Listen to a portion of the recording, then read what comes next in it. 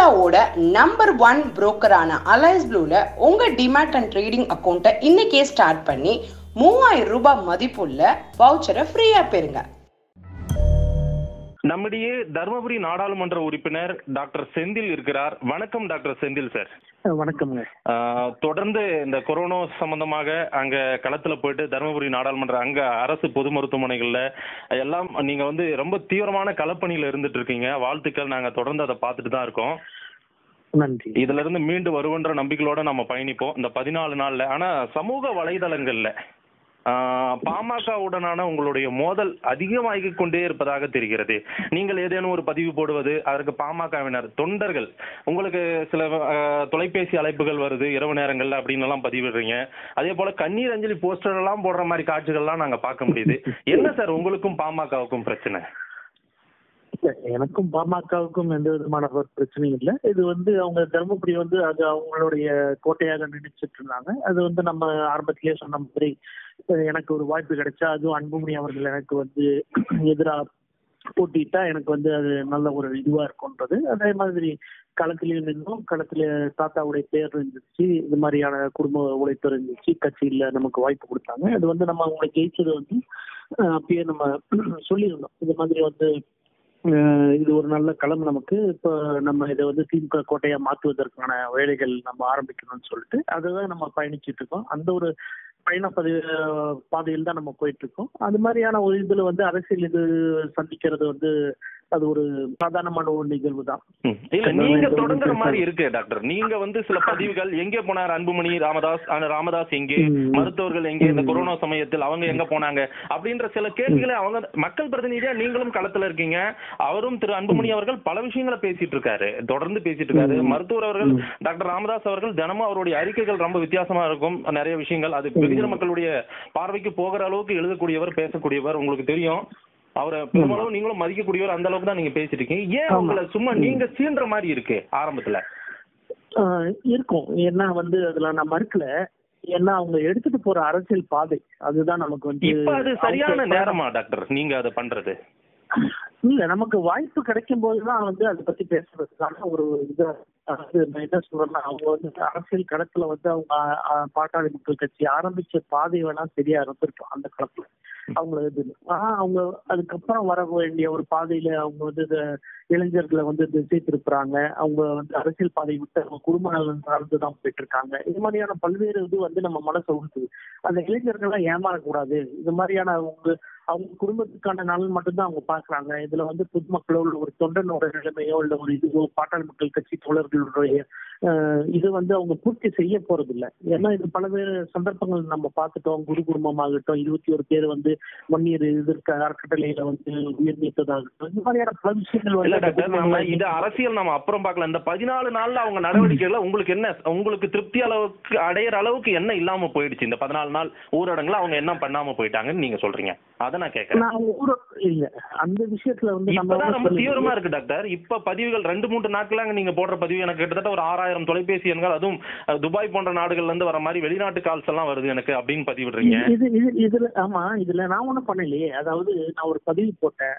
அதாவது விக்கிரவாண்டி தேர்தல்ல வந்து இந்த தலைவர் அது நீங்க ஒண்ணு பாத்தீங்கன்னா தெரியும். அதாவது திரு பெரிய ஐயா ராமதாஸ் ஆகட்டும் சின்னையா டாக்டர் அன்புமணி ராமதாஸ் ஆகட்டும் அவர்களை இந்த வரை வந்து ஒரு அஹ், தரைக்குறைவா ஒரு வார்த்தை கூட நான் பேசுனது இல்லை பாட்டாளி மக்கள் கட்சி தொகுப்புல வந்து ஒண்ணுமே பேசினது கிடையாது. அதுக்கு முன்னாடி பதிவுகள் கூட திரு ராமதாஸ் அவர்களை சார்ந்தா இருக்கும் ஆனா எப்ப விக்கிரவாண்டி தேர்தலில் வந்து அவர் வந்து ஒரு எங்க தலைவர் வந்து ரொம்ப ஒரு மாதிரி அநாகரிகமா வந்து பதில் எப்போ சொன்னாரோ அப்பதான் முதல் பதிவு வந்து நான் உங்களுக்கு போட்டேன்.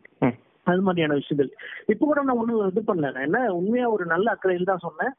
முதல் இது வந்து அவங்க போட்டோ எடுத்து போட்டாங்க. மோடி சொன்னாரு செஞ்சாரு உங்க கை கட்டி ஒரு போட்டோ குடும்பத்தோட போட்டாங்க. அடுத்த பதிவு வந்து வேண்டாங்க போட்டுறாதீங்க. நீங்க ஒண்ணு விக்ரவாண்டி தேர்தல் எங்களை ஒண்ணு கேட்டீங்க. நாங்க அது மாதிரிலாம் எதுவும் செய்யல. நீங்க இப்ப யாரோ சொன்னாங்கன்னு எடுத்து ஒரு போட்டோ போட்டு போறீங்க. அது வந்து அப்புறம் பின்விளைவுகள் வந்து வேற மாதிரி மீன்ஸ் அதெல்லாம் போகும்ட்டு ஒரு நல்ல எண்ணத்துல அது ஒரு சட்ட அஹ் சட்டையர் இருக்கு. இல்லைன்னு சொல்லல. அது ஒரு இதுல வந்து நான் போட்டு போட்டுட்டு நம்ம வந்துட்டோம். ஆனா அது வந்து அவங்கள பாதிச்சிருக்கு. அவங்க வந்து அவங்கள இது பண்ணிருக்கு. அன்னைக்கு ஆரம்பிச்சது. இன்னைக்கு மூணாவது நாள் வரைக்கும் வந்து நீங்க சொன்னா நம்ப மாட்டீங்க.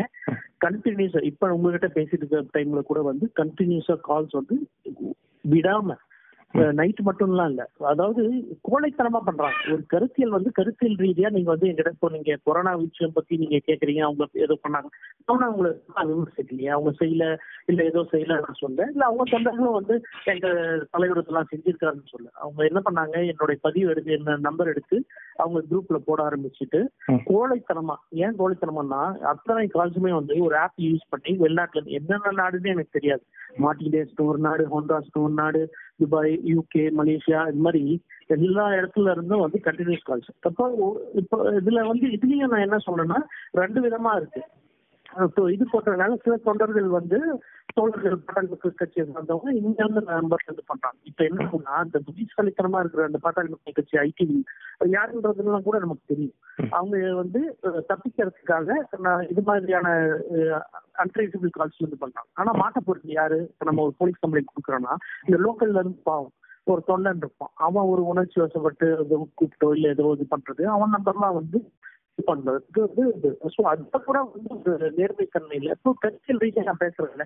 வாங்க கருத்தியல் ரீதியா என்கிட்ட பேசுங்க பண்ணலாம். இது வந்து நான் இது சொல்ல அவரை நான் வந்து அன்புமணி அவர்கள் வந்து இதுல நான் எதுவும் பேசல. அப்ப அவங்க சொன்னாங்க அவர் வந்து டிவி டிபேட் எல்லாம் போறாரு. இது மாதிரி கொடுக்குறாரு. என்னையும் நீங்க எல்லாம் உங்களை யாராவது டிவில கூப்பிட்டாங்க அப்படின்னு. கேட்டாங்க. என்னுடைய பாலிசி இல்ல நீங்க ஏன் தொண்டர்கள் ரியாக்ஷன்ஸ்க்கு நீங்க பதில் கொடுத்துருக்கீங்க டாக்டர் அதுதான் எங்களுக்கு புரியல. ஏன்னா நீங்க தலைவர் ரீதியா நீங்க திரு அன்புமணி அவர்களை எதிராக நின்று வெற்றி பெற்றவர் நீங்க.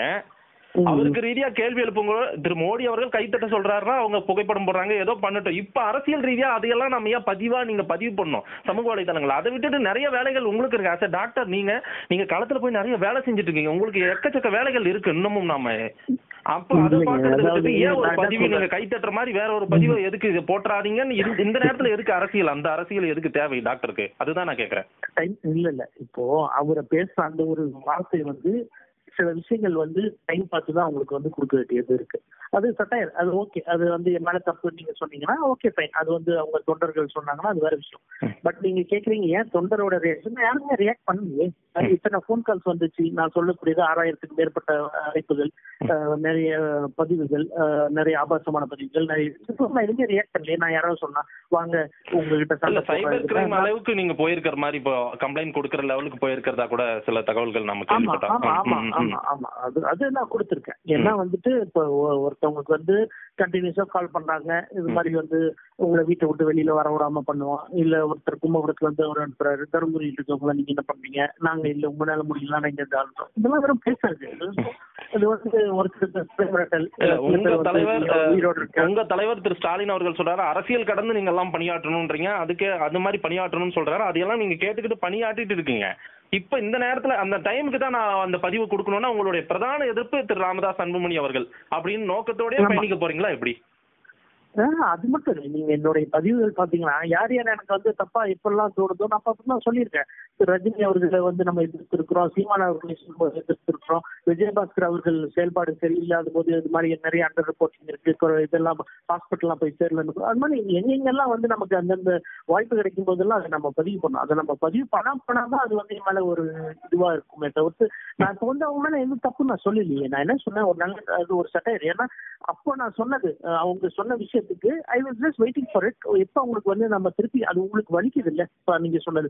அப்ப திமுக தொண்டனுக்கு அப்ப எங்க தலைவரை பத்தி பேசும்போது வந்து அப்ப தப்பு தானே அது? அது மாதிரி என்ன வார்த்தைகள் புரிய வச்சு அப்ப உங்களுக்கு புரியணும். அந்த புரிதலுக்காக கொண்டு வரும். அப்ப இந்த புரிதல் வந்து உங்களுக்கு நான் என்ன சொல்றேன்? திஸ் இஸ் ஆல் ஆர்கெஸ்ட்ரேட் அதாவது ஒரு தலைமையில இருந்து இதை வந்து முடிவு பண்ணி இது இத்தனை இப்போ ஒரு ஒருத்தவங்க ஜென்ரலா கால் போட்டாங்கன்னா ஒரு ஒரு மணி நேரத்துக்கு வரும் இல்ல இது மாதிரி.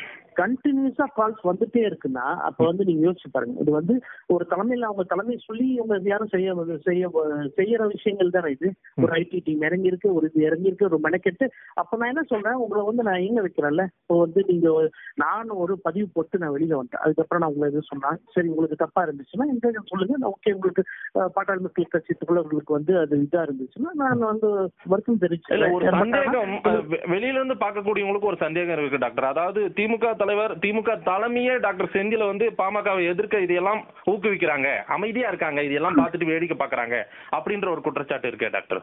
இல்ல இல்ல இல்ல. நான் என்ன சொல்லியிருக்கேன்? ஆரம்பத்துல இருந்தே நான் சொல்லியிருக்கிறது இது என்னுடைய போர்க்களம். இது என்னுடைய பேட்டில் என்னுடைய டஃப் நான் தனி மனிதனாக இதை வந்து நான் சந்திச்சுக்கிறேன். யாருடைய உதவி எனக்கு தேவையில்லைன்னு சொல்லிட்டு. இது மாதிரி என்னைக்குமே வந்து தலைமையில உண்மையிலேயே நான் பல முறை சொல்லிட்டேன்.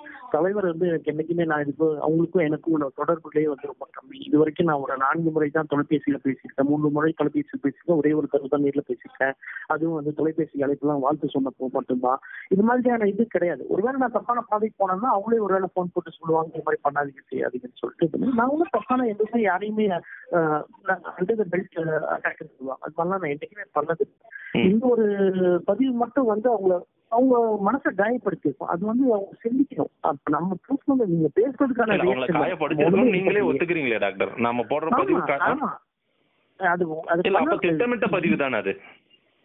இல்ல, நான் ஒன்றும் சொல்லி நான் வந்து அன்கான்சியஸா இருக்கும்போது எனக்கு தெரியாம நான் ஒண்ணு அந்த பதிவு போட்டேன் சொல்லிருக்கேன் நான். காத்திருந்து ஐ வெயிட் என்னுடைய இது வந்து காத்திருந்து அது எப்போ வந்து அவங்களுக்கு வந்து அது மேக்ஸிமம் இம்பாக்ட் கொடுக்குமோ அப்போ அடிக்கிறது தான் இது சரியான நேரமான்னு நான் கேக்குறேன் டாக்டர். நான் உங்ககிட்ட கேக்குறேன். இப்ப நம்ம அது சரியான நேரமா? அந்த இருபத்தி ஒரு நாள் எல்லா மக்கள் எல்லாம் வீடுகளை முடங்கி இல்ல நான் ஒன்றும் நான் ஒன்றும் இல்லையே. அது ஒரு சட்டையர் தானே. இல்ல பிகாஸ் பாஸ்ட் ஆன சட்டையர் அது வந்து அதனுடைய பின்விளைவுகள் பாருங்க. உங்களை நள்ளிரவு ரெண்டு மணிக்கு பன்னிரெண்டு மணிக்கெல்லாம் தொந்தரவு செய்து கால்கள் வருது. போஸ்டர்கள் ஒட்டுற மாதிரி அதெல்லாம் வருது. உங்களுக்கு அனுப்புறாங்க? அது அது ஆமா. அதனால என்ன? அப்போ அவங்க பண்றதுனால என்ன? இன்னைக்கு ஒரு நாள் அவங்க பண்ணதானே போறாங்க. இப்போ அவங்க பண்றாங்க. அவங்களுக்கு அது- அதை நம்ம அவங்கள இயக்க வைக்கிறோம். இது மாதிரி இவ்வளவு பேர் நம்மளை யோசிக்க வைக்கிறோம். நம்மள வந்து இது பண்றாங்க அது இருந்துட்டு போட்டோம் அது எனக்கு ஒரு விளம்பரமா கூட நான் எடுத்துட்டு போறேன். அதனால வந்து எனக்கு எந்த விதத்தையும் அது பாதிக்கப்பட போறது இல்ல. நீங்க வந்து அது என்னுடைய வேலைகள் எதுவுமே பாதிக்கப்படல. யார் யார் வந்து இதுல மூலயமா சோசியல் மீடியா மூலமா வந்து உதவி கேட்டுட்டு இருக்காங்க பண்ணிட்டு இருக்கோம். டாக்டர்ஸ்க்கு ஃபாலோ பண்ணிட்டு அவங்களுக்கு வந்து கிட்ஸ் எல்லாம் வந்துருச்சான்னு கேட்டோம். நூத்தி எட்டு ஆம்புலன்ஸ் டிரைவர்ஸ்க்குலாம் வந்து அரசாங்கத்துல மாஸ்க் கொடுக்கலன்னு சொன்னாங்க. அப்போ திருப்பி அவங்களுக்கு நம்ம அரசாங்கத்துக்கு சொன்னோம். நீங்க ஒண்ணு வாங்கி கொடுக்குறீங்கன்னா சொல்லுங்க. இல்லைன்னா உங்க முடியல சொல்லுங்க நாங்க வாங்கி தரோம்னு திருப்பி அவங்க கிட்ட ஃபாலோ பண்ணோம். இப்ப எல்லாருக்கும் வந்து வந்துடுச்சு. ஹாஸ்பிட்டல்ஸ்க்கு எல்லாம் இந்த பணிகள் நீங்க செய்யறது எங்களுக்கு தெரியுது டாக்டர் ஆனா இதுல சைடுல இல்ல, என்னுடைய கேள்வி. அது போயிட்டு இருக்குன்னா அது வந்து அரசியல் தளத்துல அப்படி இப்படி யோசிச்சிருந்தா அரசியலுக்கே வந்திருக்க கூடாது. இதெல்லாம் இவங்க இது மாதிரி போஸ்ட் ஓட்டுறாங்க வீட்டுல குடும்பத்துல இருக்கவங்கள பத்தி தப்பா பேசுறாங்க இது பண்ணி கொலை கொலை மிரட்டல் விடுறாங்க இது வந்து போட்டோம் அதெல்லாம் என்ன சொல்ல விரும்புறீங்க டாக்டர்? கண்டிப்பா இந்த வீடியோ மூலமா இந்த ஆடியோ மூலமா இந்த நேர்காணல் வந்து மருத்துவர் ஐயாவோ திரு அன்புமணி ராமதாஸ் அவர்களோ நிச்சயமா கேட்கறதுக்கான வாய்ப்புகள் இருக்கு. என்ன சொல்ல விரும்புறீங்க? இல்ல நான் என்ன சொல்ல விரும்புறேன்னா அவங்க அரசியல் பாதையை விட்டு அவங்க வந்து மக்களை ஏமாத்துறது வந்து அந்த ஒரு பாதையை விட்டு அவங்க வந்து விலகி வரணும். இது மாதிரியான மற்ற ஒரு விஷயம் நான் கேட்கறேன். இது மாதிரி நீங்க சொல்றீங்களே ஒரு இது பண்றாங்க. ஒரே ஒரு இது இது மாதிரி யாரும் பண்ணாதீங்கன்னு அவங்க சொல்லுவாங்களா? சொல்ல மாட்டாங்க. இதெல்லாம் அவங்க வந்து ஊக்குவிக்கிறாங்க நம்மளே வந்து இவ்வளவு இது பண்ணிட்டு இருந்தா ஒருத்தன் பண்ணிட்டு இருக்கான்னா அவனை வந்து சும்மா விடக்கூடாதுன்னு விடக்கூடாதுன்றது அவங்க அவங்களோட இதா இருக்கும். அது அவங்க அரசியல் பாதி மாறி போயிட்டு இருக்கு. ஒரு இவ்வளவு நாள் நீங்க சொல்லக்கூடியது வந்து அவரு ராஜ்யசபா எம்பியா இருந்துட்டு போயிட்டு அவரு ஒரு வருஷம் அட்டண்டன்ஸ் என்னுடைய ஒரு வருஷம் அட்டண்டன்ஸும் லோக்சபா டு லோக்சபா கம்பேர் பண்ணி கேக்குறாங்க. என்னுடைய ஒரு வருஷம் அட்டண்டன்ஸ் டிபேட் கேள்விகளும் அவருடைய ஐந்து வருஷம் லோக்சபா அட்டண்டன்ஸ் கேள்வியும் கொஸ்டின்ஸும் வச்சு பாருங்க. இல்ல இந்த ஒரு வருஷம் ஒரு வருஷம்னா ஒரு வருஷம் ராஜ்யசபா ஒரு வருஷம் வந்து. அவர் வந்து இயங்க மாட்டேன்றாரு. அவர் கொடுத்த வாய்ப்புகளை அவர் பயன்படுத்த மாட்டேங்கிறாங்க குடும்பத்துக்காக பயன்படுத்துறாங்க. ஒரு சரஸ்வதி வன்னியர் ட்ரஸ்ட் எதுக்கு அவங்க குடும்பத்து பேரை மாத்தணும்?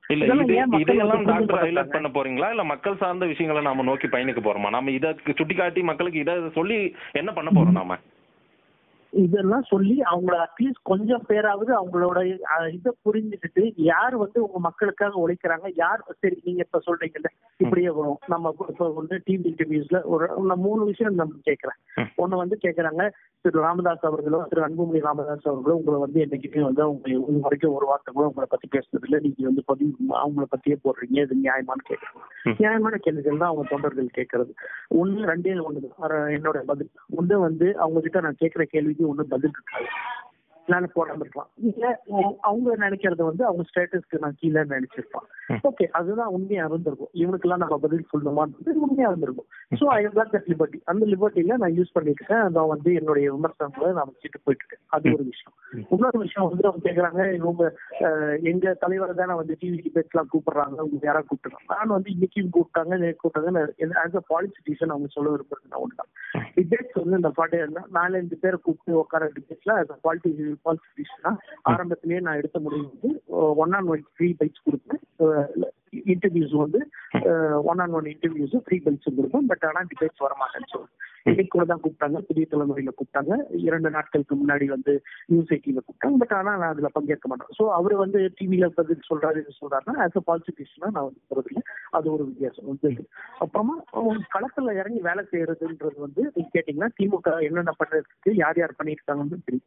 இன்னைக்கு வரைக்கும் பாட்டாளி மக்கள் கட்சி களத்துல இறங்கி ஏதாவது வேலை செஞ்சாங்களா? அவங்க வந்து டிவியில இது சொல்றாங்க சொல்றாரு ரீதி ஆலோசனை சொல்றாரு செய்யறாரு பாட்டாளி மக்கள் கட்சின்னு ஒரு கட்சி சார்ந்து இன்னைக்கு வரைக்கும் இறங்கி ஏதாவது களத்துல இருக்காங்களா? பதிவுகள் இருக்கா அவங்க தலைவர் ஏதோ செஞ்சிருக்காரா இல்ல மருத்துவரை ஏதாவது பண்ணிருக்காரா? இல்ல அவங்க தொண்டர்கள் ஏதாவது பண்ணி அப்ப வந்து உங்களுக்கு செய்யக்கூடியது மக்கள் தான் ரொம்ப எனக்கு நான் அரசியல்ல இருக்கேன். நான் வந்து வெறும் வந்து இதுன்னு சொல்ல விரும்பல. அரசியல் இருக்கும்போது வந்து எங்களுடைய பணிகளை செய்துட்டே மத்தவங்களை எக்ஸ்போஸ் பண்ணோம் எக்ஸ்போஸ் பண்றதுனால என்னன்னா எங்களுடைய கோட்டையா அதை மாத்திரம் எங்களோட பல பேரப்பட்ட இளைஞர்களை வந்து நான் திசை திருப்பாம எங்க பாருங்க யார் வந்து மக்களுக்காக வேலை செய்யறாங்க யார் வந்து மக்களுக்காக உழைக்கிறாங்க யார் வந்து வெறும் வாய்ஸ் அவடாலும் வெறும் இதுவா இருக்கு ஒரு ராஜ்யசபா எம்பி கூட வந்து மத்தவங்களுக்கு கொடுக்காம அது அவங்களா வச்சுக்கிட்டா கூட அதை பயன்படுத்தாம இருக்காங்கன்றது வந்து நம்ம ஒவ்வொன்றா எக்ஸ்போஸ் பண்றோம். ஸோ அரசியல்ல இருக்கும்போது ஏற்றது இது இந்த கோ- இது வந்து தர்மபுரி மட்டும் இல்ல இந்த இவங்க சொல்லக்கூடிய இடத்த எல்லாமே வந்து இது வந்து திமுக கோட்டையை மாற்ற வேண்டியது என்னுடைய என்னுடைய இதா நான் நினைக்கிறேன். இளைஞர்கள் வந்து யாரும் ஏமாறி போகக்கூடாது. அட்லீஸ்ட் நான் பேசுறதை கேட்ட அட்லீஸ்ட் ஒரு நாலு இளைஞர்கள் அஞ்சு இளைஞர்களாவது வந்தாங்கன்னா அது என்னோட வெற்றி தானே. அவங்க எழுந்துன்னு அப்ப நீங்க கருத்தியல் ரீதியா உங்ககிட்ட ரொம்ப கருத்தியல் ரீதியா பேசுங்க. நீ சொல்றது தப்பு. நீ சொல்றது இதுன்னு வீடுங்க. நான் டிபேட் ஆனா யாரும் அது மாதிரி வரமாட்டேங்கிறாங்க நீங்க மக்களுக்கு வந்து உண்மையை சொல்ல வேண்டிய கட்டாயத்தில் நாங்க இருக்கோம். அந்த. உண்மைகளை தான் நான் இப்படி எல்லாம் கொண்டு போறேன். அதற்கான விமர்சனங்கள் வருது.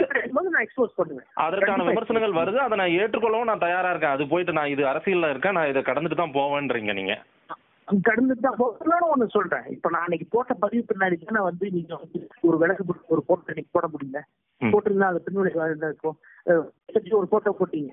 இப்ப நீங்க போட்டோ மூணு எவ்வளவு நாள் ஆகுது? மூணு நாள் ஆகுதா. போட்டோ போடல அதுவே என் வெற்றி தானே. சரிங்க டாக்டர். நீங்க உங்களுடைய தரப்பு வீட்டு- வீட்டுக்கு வெளியில ரஜினி வீட்டுக்கு வெளியில வந்து விளக்கு பிடிச்சாரு இது மெழுகுவர்த்தி ஏத்துனாரு அது மாதிரியான சில விஷயங்கள்லாம் நடந்துச்சு இது பண்ணுச்சு. நீங்க உங்களுக்கு ஒரு போட்டோ கூட வரல இல்ல? மூணு நாள் ஆகுது இல்ல. அது என் வெற்றி தானே? சரி. நான் அந்த பதிவு போட்டனால தானே உங்களால நீங்க அந்த பதிவு போட முடியல. மக்கள் மக்கள் நீங்க சொல்றதை ஏத்துப்பாங்களான்னு ஆதன் தமிழ் வாயிலா நம்ம கொண்டு போய் சேர்க்கும் போது தெரியும் டாக்டர். நிறைய கருத்துக்கள் சொல்லியிருக்கீங்க. உங்களுக்குள்ள என்ன. பிரச்சனைனா பிரச்சனை இல்ல நான் உண்மையை உலகுக்கு நிறைய விஷயங்களை சொல்லியிருக்கேன். சொல்ல போறேன் இன்னமும் சொல்லுவேன்றீங்க. ஆமா. டைம் கிடைக்கும் போது நம்ம எக்ஸ்போஸ் பண்றது வந்து அது வந்து அரசியல்ல இருக்கும்.